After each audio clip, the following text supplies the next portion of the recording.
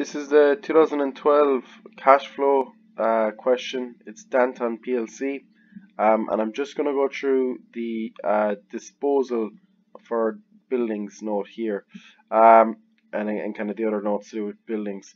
So, a uh, couple of bits of information about buildings. That's buildings at the end of the year, buildings at the start of the year. Uh, nothing else really in the balance sheet there. And at the bottom, we're told a good bit. We're told buildings which cost 90,000 were disposed of at a profit of 13,000.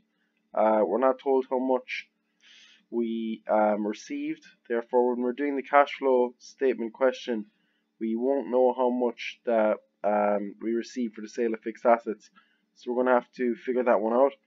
Um, there were no disposals of machinery.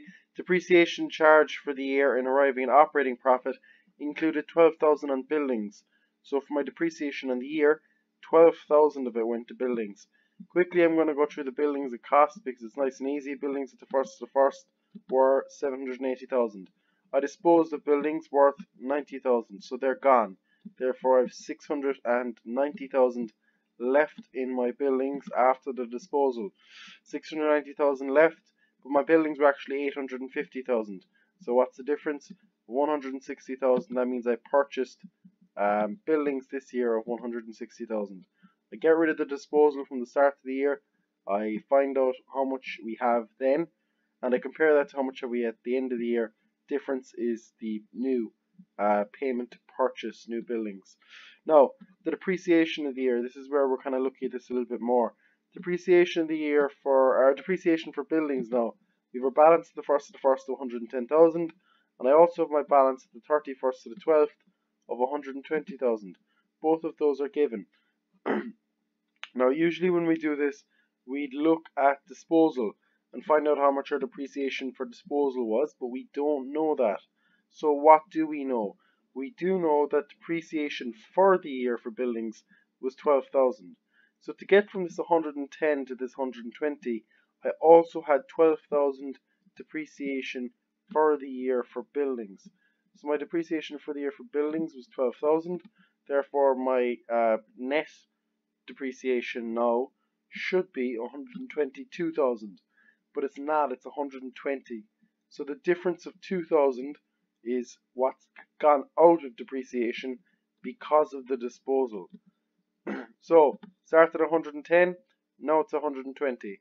I had 12,000 depreciation for the year for buildings in general, brought me up to 122. So the difference of 2000 is actually my depreciation on disposal. And because I have that now, I can finish the account quite easy. Um, my cost for buildings for disposal were 90,000. I just found out how much the depreciation on disposal was. Therefore, I now know how much the net book value was. My cost, 90,000. I just found out the depreciation on the disposal. Therefore, obviously, 88,000 is how much my uh, buildings were worth when I got rid of them. They were worth 88,000 when I got rid of them, when I was selling them off. Um, but I made a profit of 13,000 on selling them. Therefore, if I go through this here to see what information I have, my um, proceeds minus my net book value is equal to my profit on disposal. This is the same as me just saying proceeds next line and then profit and loss. But we don't know the proceeds. So we need to find out the proceeds. But we know how much net book value is. 88,000 and we also know how much the profit is. Therefore proceeds minus 88,000 is 13,000. Bring over the 88 to plus 88 is 101 is my profit, um, sorry my proceeds. So just rearranging that. My proceeds from the sale of fixed assets is 101,000. So my cost was 90,000. Just found out my depreciation was 2,000 it was worth 88,000 uh, but we made a profit of 13 therefore I've had to sell it for 101,000 to make that 13,000 profit.